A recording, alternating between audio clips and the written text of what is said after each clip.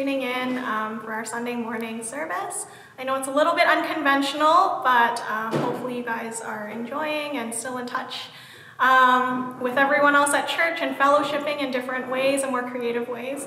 Um, so special thanks to our team who came together to do worship this Sunday. Um, Byron, Sarah, Leo, as well as Jackie who's filming. Um, don't worry, we're still maintaining social distancing though. Yeah.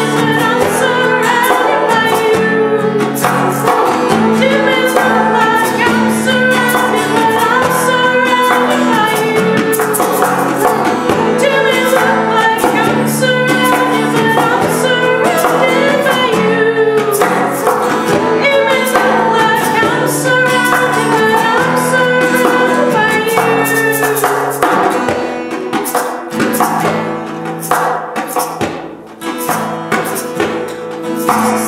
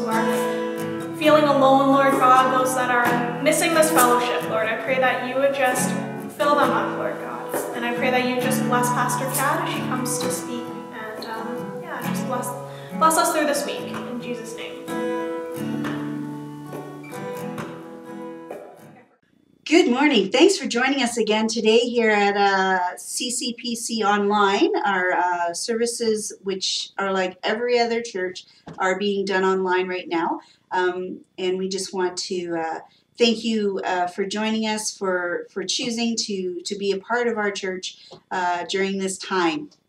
A couple of announcements before we get started. Um, so, we're looking for people to lead worship and to uh, to have that kind of ministry going as we're doing this. It's a very important part of our of our service, and we just want to make sure that we're we're using the gifts and talents that God has given us. So if you would like to uh, do a, a, worship where you're you're able to video at home. Um, please let me know. Uh, send me a message, uh, whether it's through Facebook or or text me or call me or email me even, and uh, we will get a schedule together and put you on that. Um, so thankful for the few people that have already talked to me. So um, super excited about just developing this um, this opportunity that we have to to grow in our gifts and talents. It's so good. Uh, we also want you to uh, send videos and pictures to David.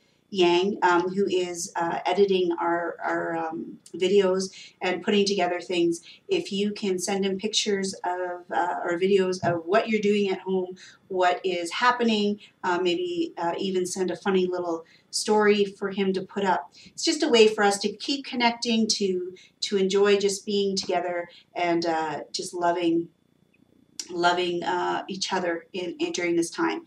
Um, we also just want you to continue to check our Facebook and our web page for uh, just updates on our cancellations um, or uh, things that are happening. Um, I'm putting a weekly challenge up on our Facebook page, but we can move it to our uh, web page as well. Um, and uh, thank you, Juanita, for uh, for joining in this week uh, we did it for the kids, but I figured let's just open it up to the church. It'll be a lot of fun. And this way, um,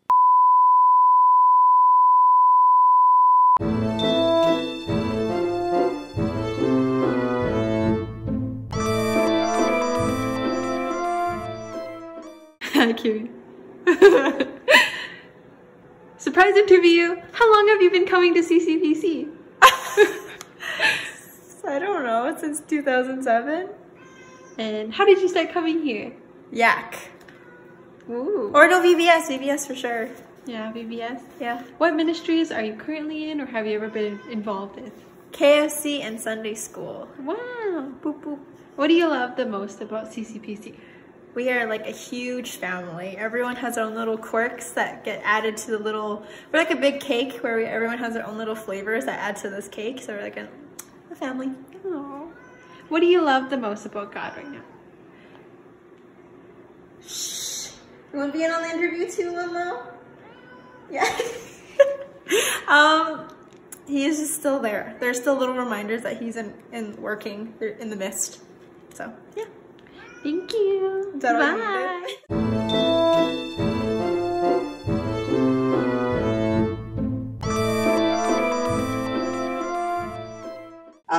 And uh, thank you, Juanita, for uh, for joining in this week. Uh, we did it for the kids, but I figured let's just open it up to the church. It'll be a lot of fun. And this way, um, we stay connected, and I get to uh, connect with people and, and talk with people that um, I may not get an opportunity to. So, so thankful. Um, to Sam and, and David as well. They continue to help me. Uh, Sam uh, helps me with the lighting and the computer and I do have a mic so if I'm not projecting enough this week I know you many of you have said it's hard to hear me um, I, I listen to the to what you're saying and we're trying to adjust every week that we're doing this. So uh, hopefully this week is better. Uh, it's crazy how much you have to project and uh, so I can see how it's hard to hear me sometimes. Um, so yeah, we're to get started. We're to pray, and then we're going to continue in our lessons in the wilderness. Uh, this is our last one, uh, and, and we're going to move on to Joshua next week.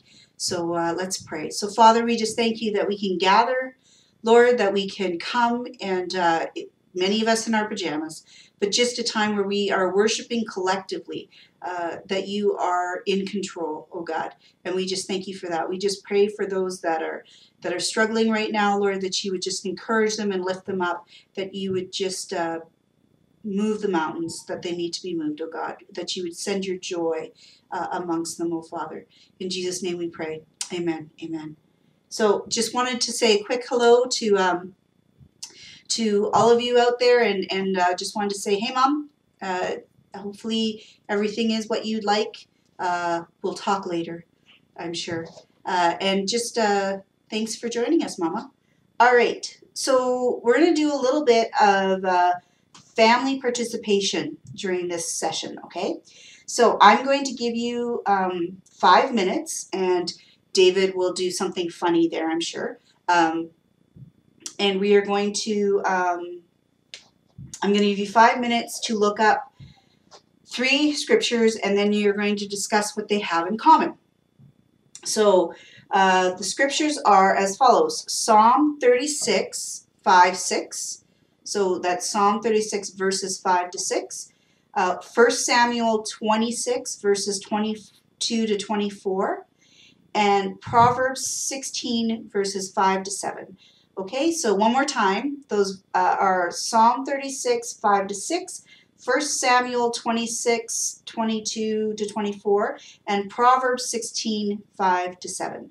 Okay, so we're going to give you five minutes to look it up. If you're with a, with your family, you can each pick a scripture and read it, and then we're going to come back in five minutes and hopefully you come to the answer that I would like you to come to. Otherwise, we're going to learn something new today. All right, five minutes.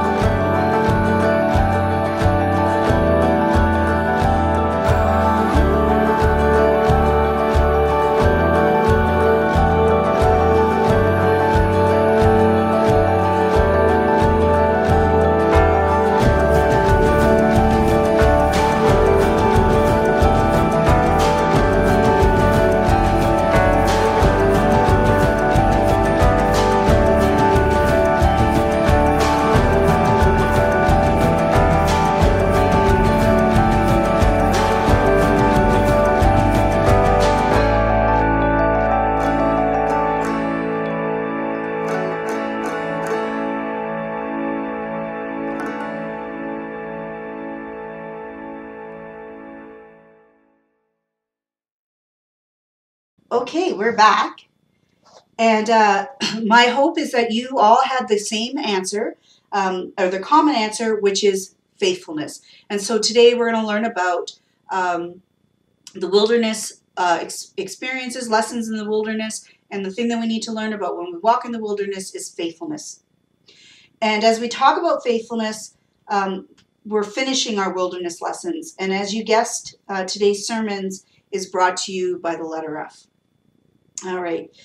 So even in the wilderness, uh, we can track Moses uh, and his his life. So even in the wilderness, uh, Moses continued to seek God. Uh, Moses, very early on in, in the journey into the wilderness, he was um, released uh, from from being carried into the promised land. Uh, he sinned, uh, and his his punishment was that he would never actually set foot in the promised land. Um, and yet, that didn't stop him from seeking God. Uh, Moses, um, we mentioned when we were talking uh, about Moses in the lesson on purity, um, Numbers 21 to 13, that Moses disinherits the promised land, and um, and his brother uh, Aaron also as well. But Aaron actually dies very shortly after that. Um, and so instead of sulking, uh, Moses continues to seek God. Uh, you know, Moses was given a great uh, job to do. He was given a great leadership uh, position, and he failed in, in, in an aspect. Um, and God desires faithfulness, He desires obedience. And when we're disobedient, we need to understand that disobedience is disobedience because sin is sin. And so Moses um, disobeys God uh, in by striking the rock as opposed to speaking to it, and then yelling at the Israelites. And so his punishment is he's not going to enter the promised land, and neither is his brother. And so and then his brother dies shortly after that. But I think the reason why Moses didn't sulk, why he continued to seek God, was because he recognized that God was and is and is to come, that God is greater than um, than what we see and what we know.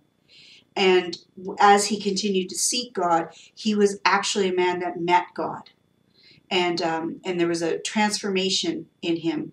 Uh, and uh, we we learned about that when we were talking about worship, and so um, he also recognized too that even though he had done wrong, that he was forgiven. Um, but we need to understand that even forgiveness does not cover the consequences. That often when we are disobedient, when God um, we challenge God or we we are just blatantly disobedient, we need to understand that there are consequences to that. And so um, he, Moses was a man that understood that that forgiveness didn't mean that the consequences were taken away. The the forgiveness was in spite of the consequences. And he didn't um, seek separate favor. Moses, you never read that Moses begs God to let him into the promised land. We just see that he accepted that, but that he doesn't sulk, that he continues to seek God and he continues to do what God um, had given him, the job that God had given him to do, which was to lead the Israelites. So um, Micah 6 4 says, I brought you up out of Egypt and redeemed you from the land of slavery. I sent Moses to lead you, also Aaron and Miriam. Through every battle, every storm, Moses led throughout every battle and every storm. Miriam dies shortly after the Red Sea. Aaron passes away quickly into the beginning of the promised land, and there's Moses. Uh, or sorry, the the desert experience, and there's Moses, and Moses is leading, and uh, and it's not fun, and yet he leads. Uh, Moses could have said, you know what, I'm not getting into the promised land. Forget it. I ain't doing anything. But he continues to seek God. He continues to, to petition God on behalf of the people. Uh, he he didn't stop, and so the for the forty years of of exile, Moses led, and he led with God, Uh, never once did he, he, he do it despite God. He did it um, with God.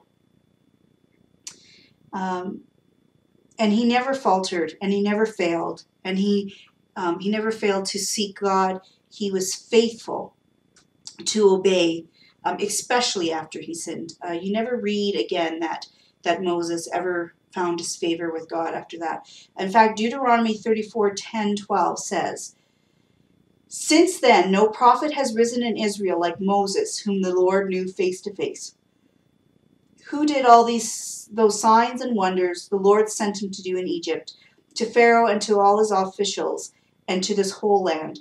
For no one has ever shown the mighty power or performed the awesome deeds that Moses did in the sight of all of Israel. And God did not abandon Moses, as he will not abandon you. We sometimes think that when we fall out of favor or we're in the wilderness that we're abandoned. In fact, we we can recognize what Jesus spoke on the cross where he where he says, "My God, why have you forsaken me?" And there have been times where I've walked in the desert where I've said the same thing, that I feel like I've been abandoned, that I feel like um, God has has somehow hung me out to dry uh, without being with me, and yet that's simply not true you need to remember that we do have an enemy who, who speaks lies into our minds and our hearts. And his biggest lie would be that we're alone, that God has forgotten us or doesn't love us. And yet that is not true. And we see throughout Scripture how untrue that is. And so, um, just as Moses walked through the wilderness, you need to remember that God is, is walking with you like he walked with Moses. He hasn't left you, he hasn't forsaken you. And um, it'd be really easy to think that he has, but he hasn't. And we need to remember that God is with us. You know, one of the, the very first lesson that is uh, for this wilderness one was that God is with us and uh, and he is for us and we need to remember that um, and even in this even when when it feels like we're wandering for 40 years God is still with you. He still has a plan and a purpose, and He's going to do great things in your life. You, you just need to hold on because He will not abandon you. Moses continued to mentor Joshua to take over. And one of the important things is that Moses recognized and understood that he was not going to lead the Israelites forever and a day. And he started to uh, to plan ahead. And so there was Moses and there was Joshua. And where Moses was, so was Joshua. Uh, Joshua is mentioned uh, in, in, in conjunction, conjunction with, with Moses uh, over 25 times uh, in uh, the, the wilderness experience. Um, he was always near Moses, uh, learning, um, taking leadership roles, doing what God had placed before him, and, and, and gathering wisdom and, and courage from Moses. Um, there was no animosity uh, between them. Uh, Moses did never resented Joshua because Joshua was going to take them into the promised land, and Joshua never resented Moses because he thought Moses was old. And so it's really um, important that we understand that concept that as we train people to take on positions that maybe we once held or or may even be greater than ones that we we held um, we need to remember that we're doing it with a purpose and a plan that god is giving uh, direction to the to the young leaders through the older leaders. And the older leaders can't resent what the younger ones are going to do and the younger ones can't resent the older ones for feeling like they're being held back. The reality is remember it's like it's like that that bow and arrow thing that the tension that is built is what and once it's released is is what makes you go further. And so um, sometimes when when uh, young leaders are are are really excited to get going. They may feel a little bit of that tension but but there wasn't any of that where we read in in, in moses and, and joshua. There seemed to be a very uh, mutual love and respect and um, something definitely that we need to model as we uh, as we sometimes are in leadership positions we go through deserts but it's because it's a it's a timing of a new emergence. Uh, we become smaller uh, future leaders become bigger and we need to be okay with that and uh, and we need to just uh, to do it uh, and so god honors uh, the faithfulness of moses because God honors faithfulness, and Moses honored God. Deuteronomy 34 9 says, Now Joshua, son of Nun, was filled with the spirit of wisdom because Moses had laid his hands on him. So the Israelites listened to him and did what the Lord had commanded Moses. The Moses imparted his wisdom to Joshua, and God empowered Joshua in the spirit. Um, again, Moses didn't do anything without God, and, and we see that even in his leading, he does it with the Lord. And we need to be mindful of that as we as we lead, as we're in the wilderness. Are we accomplishing what God has for us, even in this point? Um, are we leading to the best of our ability, and uh, are we doing the best that we can? So. Um, I found that in wilderness times, as we uh, we wrap this up, um, that in wilderness times it can be really easy to become bitter. Um, it can become easy to become disillusioned uh, with with life, with God, with with things. Um, it's easy to disconnect. Uh, oh, I don't feel like talking to someone, and can't go face to face, so I, will ignore my phone. I won't answer emails. I won't answer Facebook, Instagram, however you connect. Um, it's and yet um, God calls us to even in the wilderness. He calls us to a place of joy, and He calls us to a place of strength, and He calls us to a place of fellowship. Even this way, uh, I've had many meetings this week um, some through uh, texting, some through a Facebook Messenger, uh, some through Zoom um, and, and Skype and all that kind of craziness, and uh, and yet still connecting, um, still still uh, involved in people's lives and um, and people involved in my life.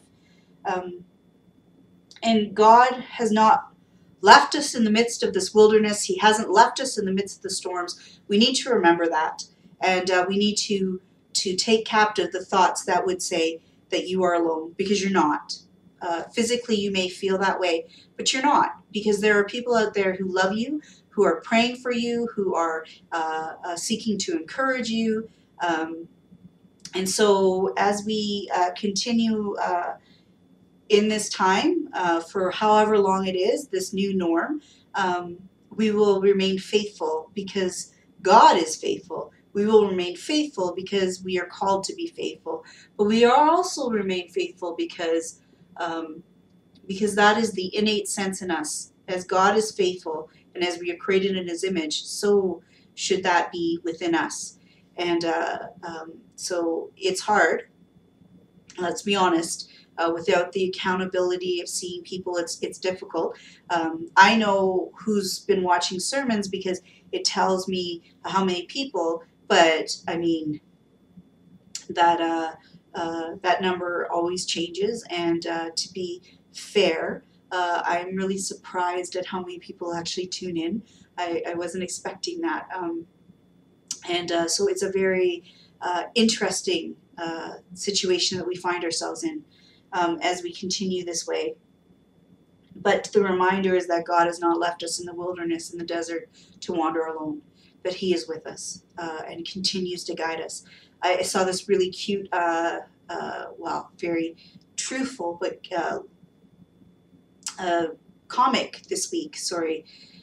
And it was the devil and God, and the devil said to to God, "I closed all the churches, uh, the church, the church buildings, um, all over the world." And God said, "Yeah, I opened a church in every home." And so by doing this, we can be the church in our homes and uh, continue to seek God and what He's doing. And so we come to the end of our sermon, and so we ask, well, my sermon, uh, so what?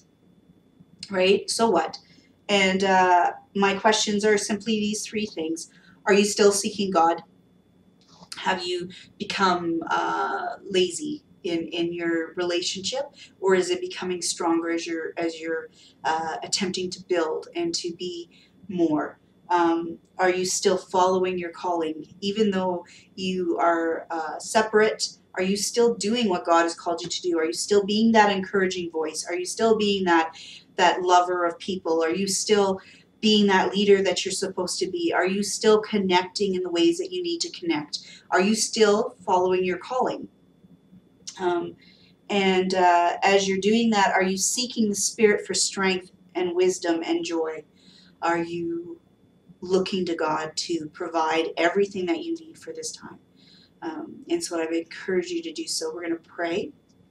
And uh, after we pray, don't turn off uh, the sermon yet. Uh, there's a special guest coming right after. So uh, let's just pray. Thank you, Father, for this beautiful day. Thank you, God, for your many blessings and your many mercies that are new every morning. Thank you, God, that just one week ago we, we celebrated your resurrection. We celebrated the fact that you went to the cross on a Friday, but you rose on a Sunday, victorious over all things, God. And so we just ask, Lord, that this week we would be empowered by your Spirit, that you would fill us with wisdom and with joy and with strength, that we would continue to persevere, to do what we are called to do, O God, to be the living church as you've made us. And we just ask, oh Father, that you would continue to walk with us, that you would continue to guide and direct and to strengthen, oh God, and that we in turn would be mindful of who you are and listening to your voice. In Jesus' name we pray. Amen. Amen. Amen. So just want to remind you that you are loved and uh, and you're missed, so missed by me and uh, and many others, I'm sure. And uh, I'll see you next week.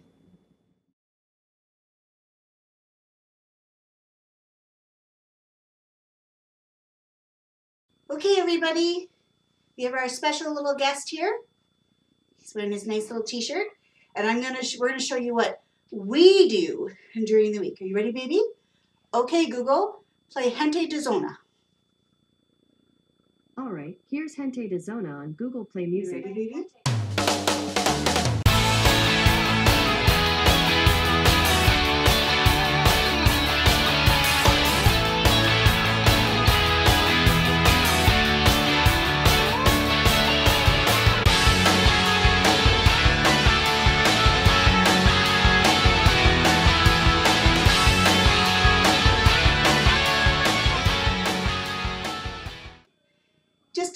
Of what baby and I do during the week. We have a little dance party.